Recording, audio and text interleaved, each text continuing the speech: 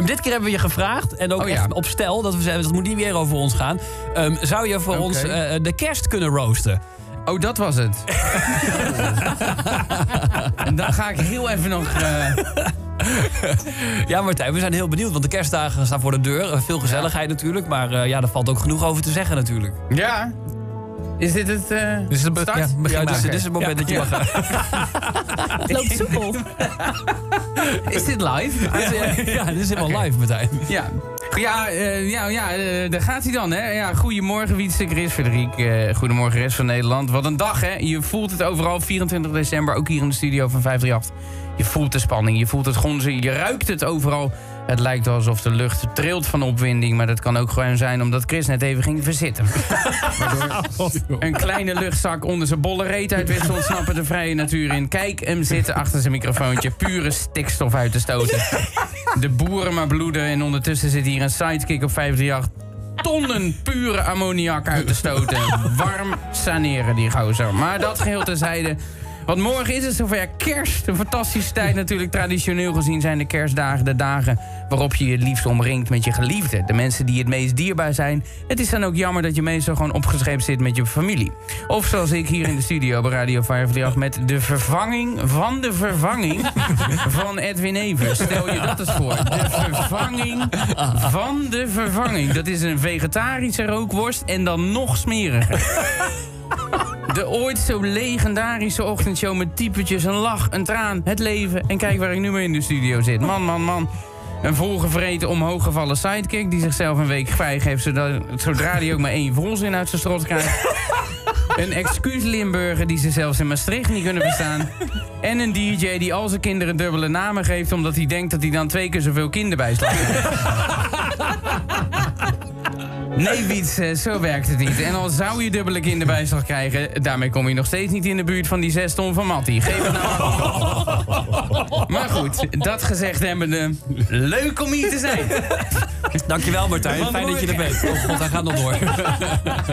Want morgen is het zover. Eerste kerstdag. De dag dat je eigenlijk nog steeds zit uit te huilen van de kerstborrel op je werk. Want wat je allemaal al niet hebt moeten doorstaan voor die klote kerst überhaupt al is aangebroken. De kerstborrel op je werk. Het begint er meestal mee. Het is er eentje van de categorie Henny Huisman. De categorie moeten we elkaar dit eigenlijk nog wel aandoen. Je verzamelt in de kantine waar je die middag nog een broodje huilende kip hebt zitten wegstouwen. Of was het vis? Geen idee eigenlijk, want alles smaakt altijd hetzelfde in de kantines. En daar sta je dan in je ironische terwijl je vorig jaar nog zo had voorgenomen... dit is mijn laatste kerstborrel, volgend jaar wil ik aan de werk. En dan zie je ineens die collega. Die collega die ineens komt binnenlopen waarvan je denkt... hè? Werkt hij hier nog? Had hij geen burn-out? En zo nee. Waarom eigenlijk niet? Met zo'n kop had ik al vijf keer een burn-out gehad. Zo'n wietse de jagerkop met een gezicht alsof hij permanent rottende dierenluikjes ruikt.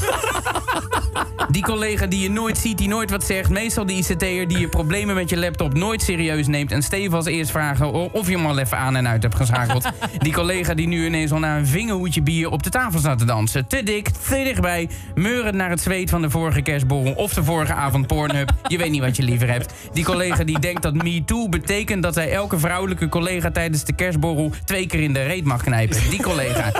Ja, dat klinkt a- akelig bekend, Chris, of niet?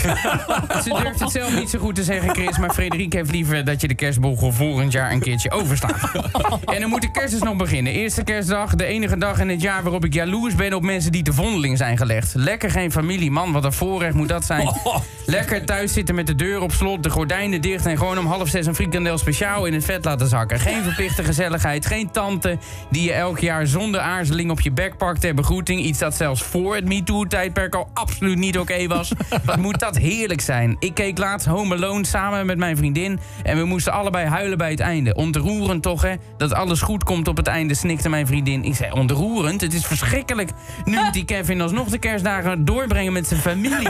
Een levende hel. En waarom is het eigenlijk zo georganiseerd... dat een, dat een kerstdiner altijd per definitie moet worden gekookt... door een oom die 364 dagen per jaar niet in de keuken komt? Een oom die het normaal gesproken presteert om kokend water te laten bevriezen...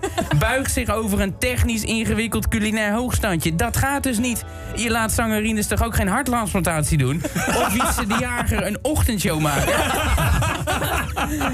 Oh, wacht even. Oké. nee, het, zou om, a- oh, eh, het eten zou om 6 uur klaar zijn, maar het is inmiddels half negen. Je hebt er 3,5 stokbrood op en daar komt de kalkoen. Taai als trek erop, totaal zwart geblakerd.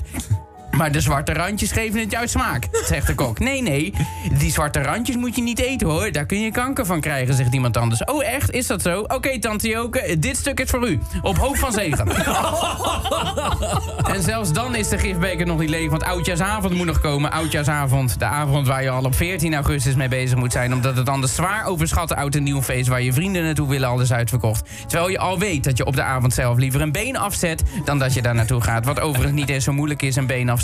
Zorg gewoon dat je rond 12 uur in de buurt staat van die ene buurman... die elk jaar voor 900 euro aan vuurwerk koopt in België... waarvan hij geen idee heeft wat het doet. Een lawinepijl in een champagnefles, dat moet toch kunnen? Ik had een keer een buurman die per ongeluk de urn van zijn moeder in de hand stak... omdat hij dacht dat het een pot was.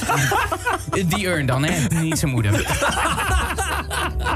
En dan zit het erop en kunnen we eindelijk beginnen aan 2020. Een nieuw decennium, maar hopelijk met precies dezelfde feestdagen. Want er moet natuurlijk wel gewoon wat te zeiken blijven. Oh,